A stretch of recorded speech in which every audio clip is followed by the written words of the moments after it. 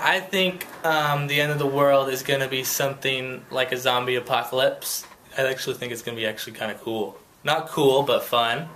Um, just to see what happens. And uh, just like one of those movies, like I Am Legend or something.